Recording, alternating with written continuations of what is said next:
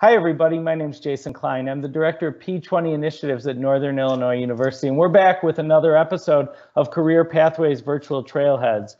We're really excited about this. We've, we've had wind energy. You may have seen that episode, and the individual who, who was our guest in that episode, his background, he was a nuclear engineering student as both a, for his bachelor's degree and his master's degree, and he's never done anything with nuclear engineering. Well, we're going to take care of that with this episode because we're really excited to have a guest today who works at the Byron Nuclear Power Plant. So um, Jocsan is our guest today. I'm going to turn it over to you, Jocsan, to introduce yourself, and then we'll start asking questions about your career and your work. Awesome. Well, thank you very much, Jason. It's a pleasure to be here. Uh, so for everyone, um, my name is Jocsan Martinez. I'm an operations shift manager with Exelon Corporation. I'm a civil engineer by background with a bachelor's degree from the Illinois Institute of Technology. I work at the Byron Nuclear Power Station, which is located in Northern Illinois. I am licensed by the federal government to operate the two nuclear reactor units at Byron Station. We produce electricity 24 7 and all year round supplying about 2,500 megawatts of electricity, which is enough to power approximately uh, 2 million households. Uh, organizationally, I work for Exelon, which is an electric utility. As a corporation, uh, we work in all major areas of the electric utility business, from generation of electricity to distribution to competitive sales. I work within the generation division producing electricity for our customers. That this is this is awesome. So I mean, those numbers are just incredible to think about, and we'll come back to that. Uh, you know, two million households being powered, and uh, having the the power plant running 24/7. We obviously all, if we're watching this, understand the importance of this. I almost made a dad joke there and said the power of this. Um, so, with that said, tell us what like a typical day or a typical week looks like in your work. Sweet. Uh, I'll give you a month. Uh, let's okay. see. Cool. So, um, so I lead a crew. So my crew and I work on a rotating 12-hour shift schedule with a five-week rotation. So we rotate between working days, nights, weekdays, and weekends, um, with our fifth week being a training week, during which my team goes through a requalification process that includes dynamic scenarios in our main control room simulator, as well as written exams. Um, now, a rotating shift work can seem tough, but it does come with some perks. Uh, so, for example, uh, between two of our work weeks, uh, I do have a span of seven days off, which is part of my normal rotation. It's effectively a seven day weekend. Mm-hmm. Now, on a typical day, I arrive at the nuclear power plant and go through security checkpoints to access the plant. It's very much like going through an airport. We have a dedicated security force on site given the nuclear technology that we use. From there, I make my way to the main control room uh, of the plant. Visually, the main control room is um, is like the inside of a spaceship. The control room has indications and control switches for plant equipment and is where my team monitors and operates the two nuclear reactors we have on site. The main control room is manned at all times, and when I arrive, I take a turnover from my counterpart on the previous shift. During the day, uh, my team works with other departments such as maintenance and engineering to perform surveillances and work on plant equipment. Um, we test equipment to ensure that the equipment functions as designed. We also modify our plant, our plant to upgrade components for safer and more reliable operations. At the end of my workday, I am relieved by a counterpart shift manager working on the next shift. Very cool. Um, so the the can we go into a little bit more detail about the training part of that, the ongoing training? So if I understand you correctly, every five weeks you're re-engaging in on-the-job training essentially. Is that correct? Yes. So um, I think it's one of the most surprising aspects of the job that a, a lot of folks don't necessarily know about mm-hmm. is uh, training is a cornerstone of what we do. We go through rigorous training to do what we do. Uh, to start, uh, to even be qualified to be in the position, I had to pass an intense two-year training program to obtain my federal license. This program involved written and dynamic test scenarios with evaluations from representatives of the Nuclear Regulatory Commission. My training ensures that I know the plant like the back of my hand and can respond to equipment failures. It's very much like uh, like flight pilot training. My team and I operate Byron Station day in and day out, but we are trained specifically for responding to casualty situations to ensure that under all conditions, we maintain our reactor units shut down and cooled. Uh, my primary function is to protect the health and safety of the public. Once qualified, I attend training every five weeks to ensure I remain proficient in my role.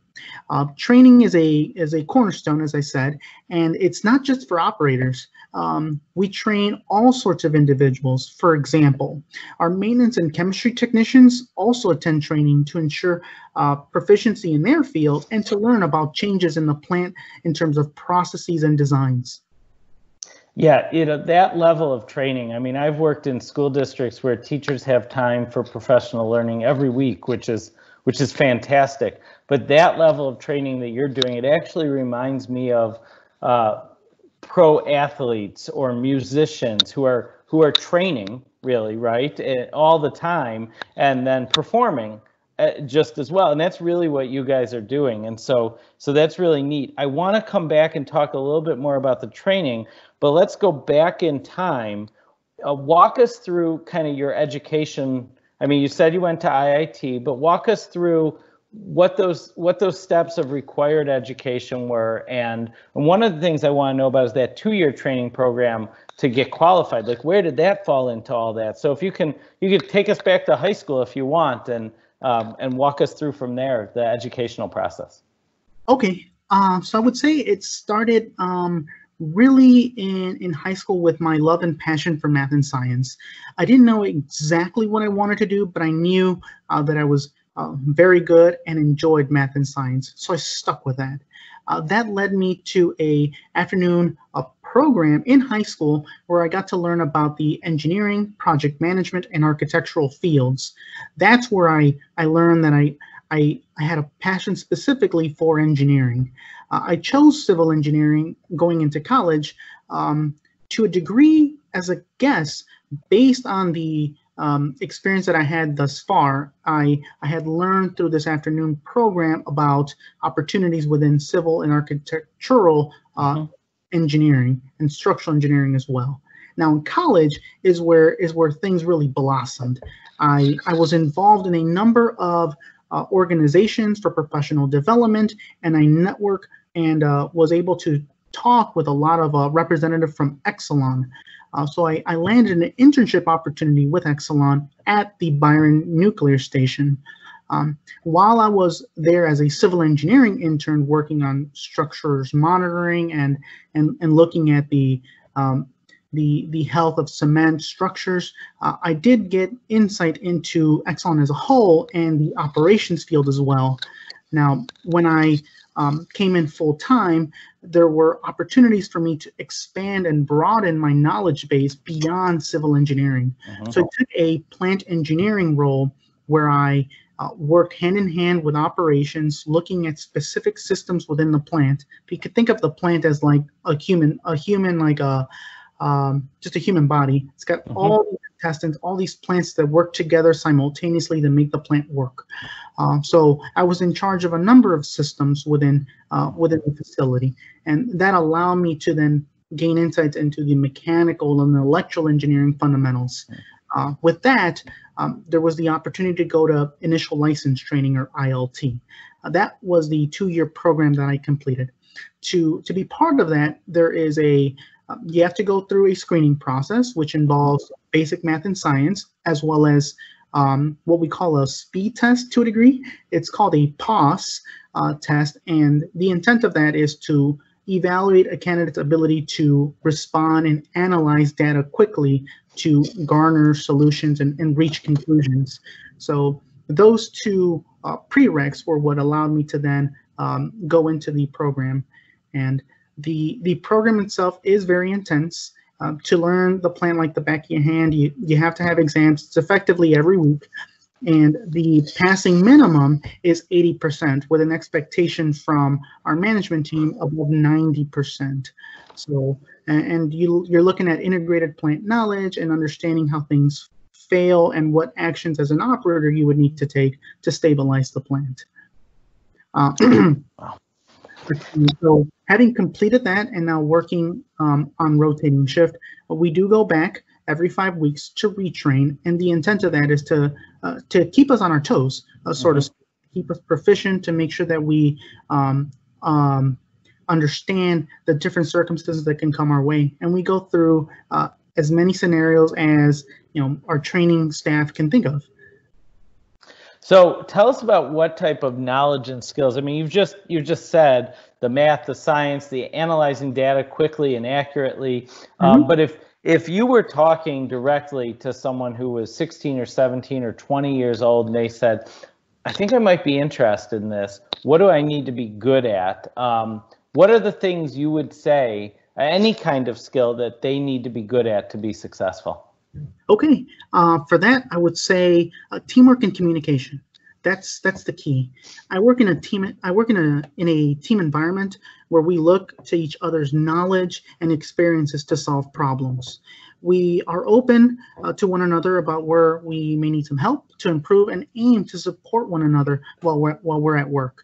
Um, we have an expectation for communications, which we call three-way communications. Uh, so when we have two or more people communicating, uh, we validate communications by repeating a person's communication and ending it with that is correct. So for an example, if a field operator is going to turn a valve uh, and they have to communicate to the main control room, they'll say, uh, control room, this is field operator John looking to manipulate valve XYZ. The main control room will then say, understand, uh, John, you are ready and in the field to manipulate valve XYZ and then the field operator would then end it with, that is correct. And so this type of communication is what we do day in and day out. It's second nature to us. So it's it's interesting when I find myself doing this at home uh, to some weird looks that I may get from my loved ones.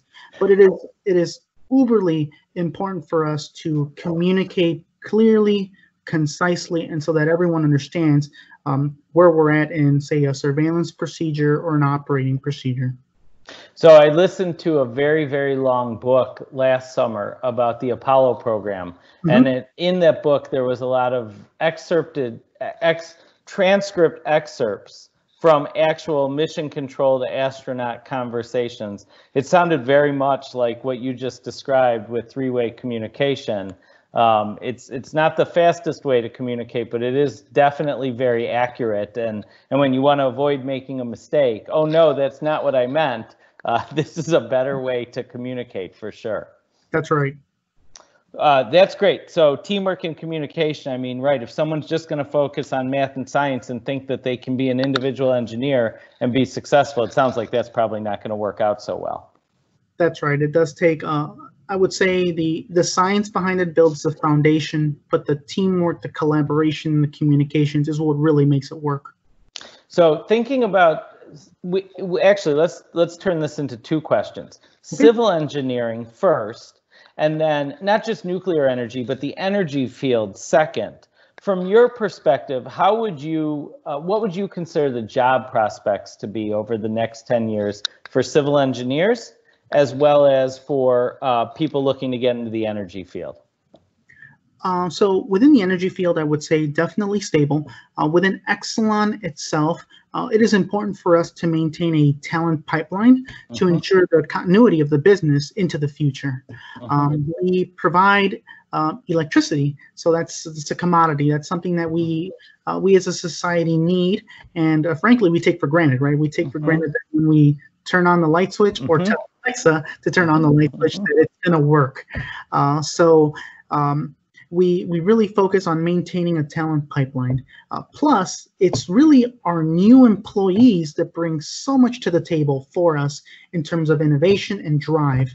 Uh, building on the culture of inclusion that we have at Exelon, we've seen our employees approach situations or challenges from a different lens, allowing us to uh, use innovative technologies to solve problems. So, for example, um, we used to send divers in to perform inspections of underwater structures. Mm-hmm. Nowadays, we use robotics and drone technologies for these applications. This is exciting stuff, and uh, we are in need of employees that know and appreciate this technology mm-hmm. to allow us to see past the status quo and find ways to leverage these technologies. Um, now, from a civil engineering and just broadly engineering perspective, um, engineers, we solve problems and our world will always have problems to solve.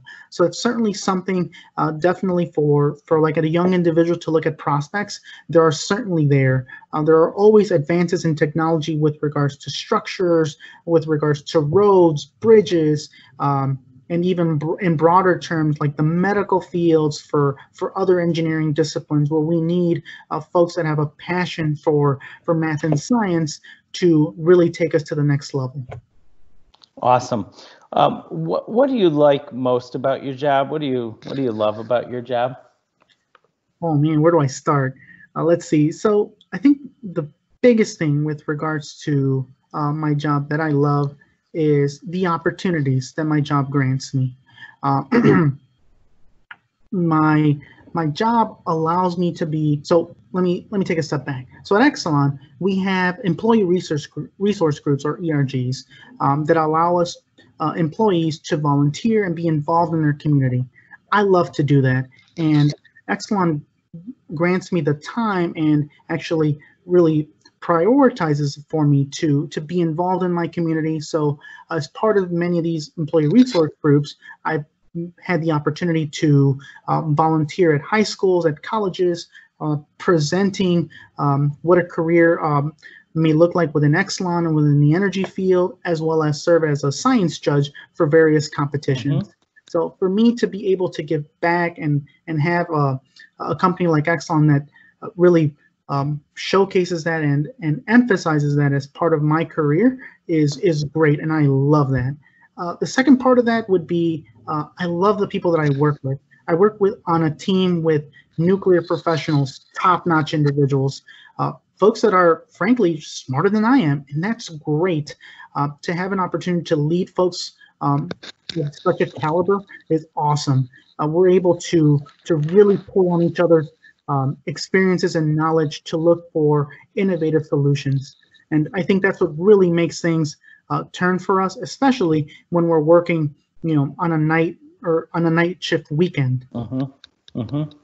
That's that's awesome stuff. So thank you for sharing that. Now you already told us that, and and you saw my reaction to the amount of training and the ongoing cyclical nature of the training. That was very surprising. You said that's one of the most surprising aspects of your job.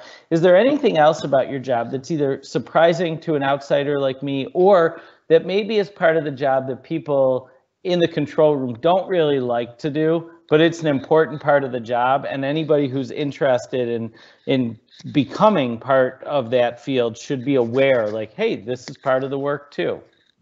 Okay, uh, so I've touched on it a little bit. I would say uh, a tough, uh, certainly a, a, challenging part of our job is the fact that we have to work. Uh, we're in an industry where we have to work 24/7 every day of the year. So that's that's days, that's nights, that's weekdays, weekends, and even holidays. Uh-huh. So to accomplish this, my workplace has five operating crews that work a rotating shift schedule. So we're all offset to be able to meet the schedule. Uh, we have minimum manning requirements, so this can be uh, challenging as one has to be accustomed to working both days and nights. Uh, this requires balance and preparations, I would say. For me, key to being successful while working rotating shift work is to plan ahead and to know when I will be off to make family and personal events and to look to take time off as needed. Um, I also invested in blackout drapes, which is a must to sleep during sunny summer days. Uh, I work with many operators that have worked many years on a rotating shift and have families. Um, they would also say that planning ahead is key to also enjoy that seven day weekend uh-huh. previously mentioned. Um, our work is like like that of like a hospital staff uh-huh. that we the workplace has to be open 24 7 so so we make um, all accommodations necessary for that as well cool that's great um, maybe this is an easy one i suppose there's a whole group of people who might argue that it's not an easy question to answer How do you believe your your job has a positive impact on the world?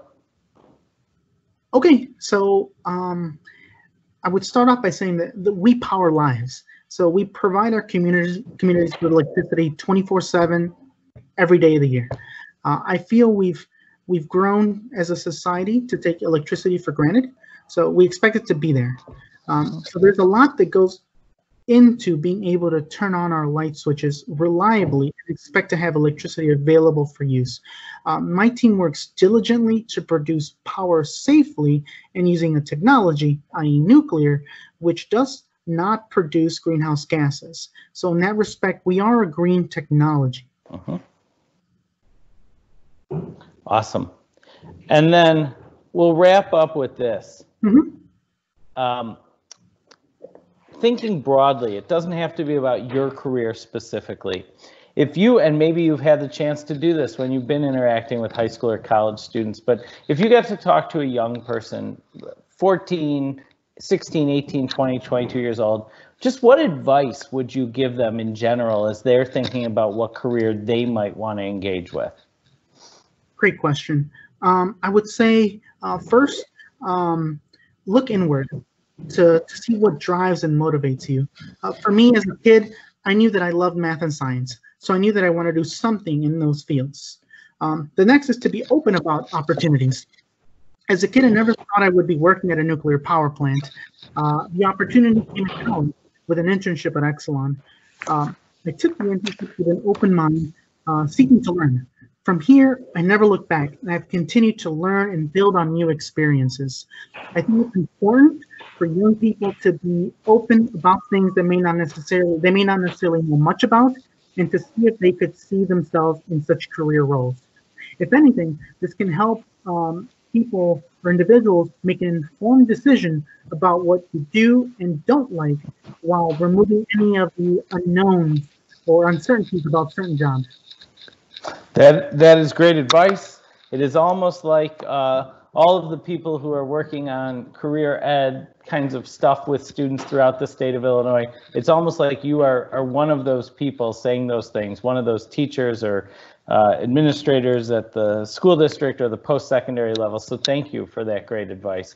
It has been a real pleasure pleasure having you. Um, I guess I'm going to finish with one last question because there's going to be all kinds of young people watching this and they're going to wonder about this you know their exposure to a nuclear power plant is is in one form and it's a cartoon so mm-hmm. you you know where i'm going with this right oh you know it yeah so so tell us it, how much how how similar or dissimilar is it to homer simpson's experiences in a nuclear power plant i know what i'm hoping you'll answer Oh yeah. So I get this question a lot actually. I figured you did. I figured that.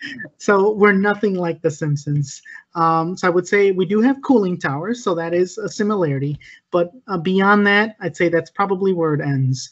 Um, we the nuclear technology that we use, so the fission process, mm-hmm. it's it's powerful stuff. Um, we're looking at uranium pellets that may be the size of your nail, and that small fragment uh, can produce so much energy, thousands of equivalent pounds in coal, hundreds of barrels of oil uh, in such a small volume. So that's that's powerful stuff. But I'll quote Spider-Man, right? With great power comes great responsibility. So one thing that's overly important for us and is what we work around is to make sure that we produce electricity in a responsible and safe manner. So my team, uh, whether it's in our training, in the way that we monitor equipment, we're always thinking about uh, how are we going to keep our reactor safe so that we can continue to produce electricity for the long term. Um, so um, that is that is what I would say regarding just the nuclear industry as, as well as a whole is these facilities are robust structures. They are fail safe. Um, uh, facilities, meaning that uh, when something goes bad, the the facility aims to shut itself down without any operator interference. Mm-hmm. So um, with that, there's uh, we as operators just validate that automatic um, logic schemes are occurring, and we take action if not. Uh, but generally speaking, ultra safe facilities Uh, they have backups upon backups to make sure that we can accomplish certain functions. And like I said, uh, uh, day in and day out, we we hang out 100% power, producing uh, the electricity that our society dearly needs. Awesome. Well, thanks again so much for being with us. And for those of you watching, uh, this is this is the shift from school year to summer uh, Career Pathways Virtual Trailheads. You may be watching this in the middle of the winter, of course, and so it doesn't matter. We are going to keep producing Career Pathways Virtual Trailheads, and we want you to let us know what careers you think are useful careers for us to uh, highlight in a Career Pathway Virtual Trailhead if you have a specific individual you think would make a great guest, or if you have specific questions that you would like us to ask, connect with us on Twitter at P20 Network. That's at P20 Network, all one word. And we look forward to bringing you more in the future. Thanks again for being with us today.